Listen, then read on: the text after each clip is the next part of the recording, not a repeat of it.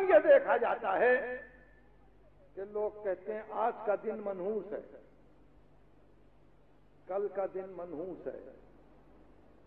بہرحال دنوں کی نحوست کے متعلق مجھے ایک بات کہنی ہے۔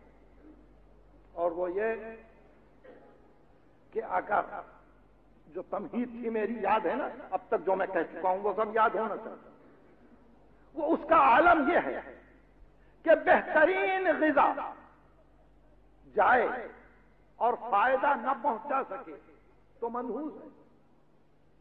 جو کی روٹی، اطاعت حق کے کام آ جائے تو برکت ہے۔ بالکل اسی طرح جو دن معصیت الہی میں گزر جائے، وہ منحوس ہے۔ اور جو دن ذکر الہی سے شروع ہو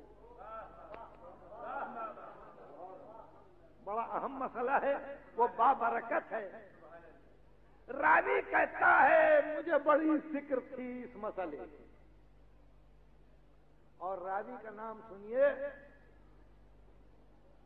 راوی کا نام ہے فخر خاف رے ابن ابی دلف دال لام سے یہ راوی ہے امام علی نقی صلی اللہ علیہ وسلم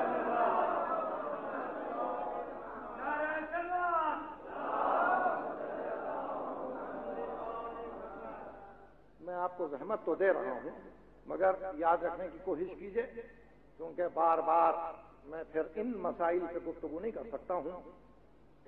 اور ہر وقت ایک نیا مسئلہ سامنے آ جاتا ہے اور دل چاہتا ہے کہ پھر اس مسئلے پہ گفتگو ہو۔ یہ کہتا ہے کہ متوکل نے امام دہم کو سرمنرا بلوایا۔ متوکل کا دور ہے۔ کون متوکل وہی جس نے قبر حسینی کے ساتھ بے حرمتی کی تھی کربلا۔ امام علی نقی سامرہ گئے۔ متوکل نے قید کر لیا۔ ذراقی حاجب ہے۔ زیر الف آپ یہ ذراقی حاجب ہے جس کی قید میں امام رہے۔ ابن ابی طلب بیان کرتا ہے کہ مجھے ایک عجیب بلولا پیدا ہوا، ایک جذبہ پیدا ہوا کہ امام کو قید میں دیکھوں۔ یا قید میں جا کے امام سے ملاقات کروں، امام کو قید میں دیکھوں کہ مانے وہاں جا کے ملاقات کروں۔ ان کی قدم بوسی حاصل کروں۔ قید کے عالم میں، امام کیا کرتا ہے؟ یہ کہتے میں سیدھے گیا۔ ابن ابھی دلف کے پاس۔ اس نے میری صورت دیکھی، لوگ بہت سے بیٹھے ہوئے تھے۔ آہستہ آہستہ لوگ چھٹتے گئے، میری طرف دیکھ کے کہا، قیدی سے ملنے کے لیے آیا ہے۔ کہا ہاں۔ کہا، ابن ابھی دلف، تیرے دل میں جتنا عقیدہ ہے، اتنا ہی عقیدہ میرے دل میں مگر میں مجبور ہوں۔ جا ملاقات کرتا یہ کہتا ہے میں اندر گیا۔ امام کو دیکھ کے گریا گلو گیر گیا۔ اس لیے کہ امام جہاں عبادت کر رہے تھے، وہیں پہلو میں امام کی ایک قبر خودی ہوئی۔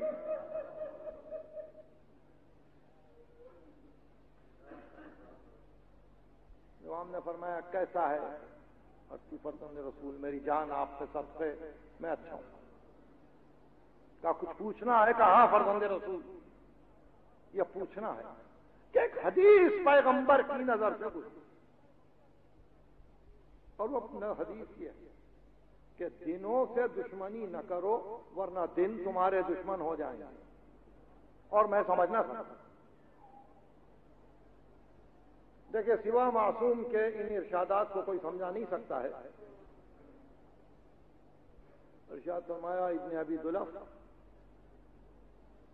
دنوں کے نام یہ ہیں، جو تو بھی جانتا ہے اور دنیا کو معلوم مگر یہ باتیں مجھ سے یاد کر لو۔ ہفتہ یوم السبت۔ فرمایا، یہ دن ہے احمد مشتبہ محمد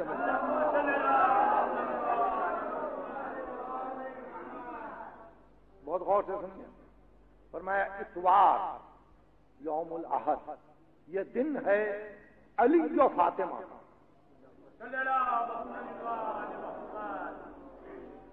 اس کے بعد یوم الاسنین یہ دن ہے حسن و حسین۔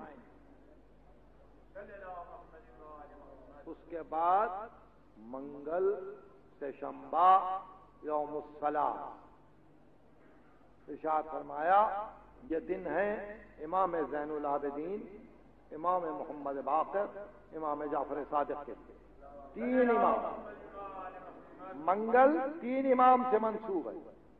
اس کا سرمایہ بدھ چہار شمبا یوم الاربعہ۔ ارشاد فرمایا، یہ دن ہے موسی کاظم، امام غذا امام تقی جواد اور مجھ سے یہ دن منسوب ہے۔ امام علی نقی روایت کر رہے ہیں۔ یاد ہے آپ؟ فرمایا، یہ دن موسی کاظم، امام رضا، تقی جواد اور مجھ سے منسوب اس کے بعد فرمایا، جمعرات، یوم الخمیس، فقط امام حسن عسکری سے منسوب ہے۔ اب یہ اتنی عجیب حدیث ہے کہ اس کی تشریح بہت عجیب ہو جاتی ہے۔ جمعرات امام حسن عسکری سے منسوب ہے۔ اور جمعہ حضرت حجت۔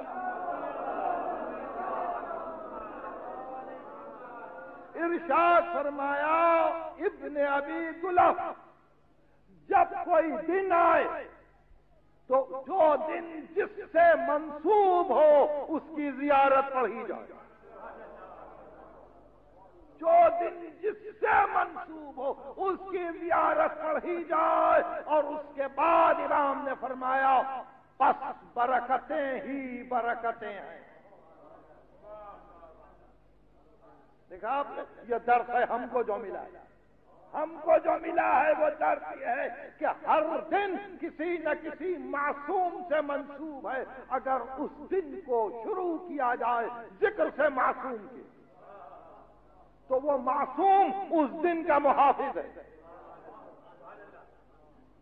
نوستیں ختم نوستیں ختم ہوئی۔ کیوں؟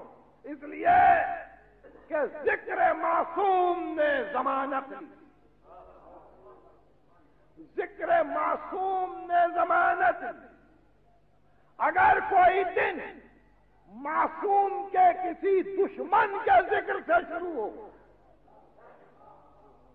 یا معصوم کے کسی دشمن کی محبت میں شروع ہو، تو اس کی نحوست ظاہر ہے اس پر گفتگو تفصیل سے تو ہوگی، مگر اس کے بعد اتنا کہنا کہ امام پھر ابن ابی گلف کو پوری زیارتیں لکھوائیں کہ ہفتے کو یوں زیارت پڑھو، اتوار کو یہ پڑھو، پیر کو یہ پڑھو، منگل کو یہ پڑھو بدھ کو یہ پڑھو، یہ پوری زیارتیں